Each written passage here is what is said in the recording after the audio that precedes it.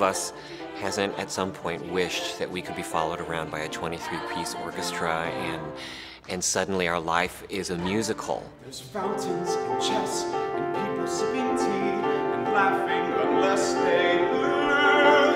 To have two of our greatest theatrical minds come together to make a show about this particular moment in this country's history and to make a musical out of it, I mean, what's more dazzling than that? It's so exciting. We get to be uh, fully realized uh, grounded characters, and that's really satisfying.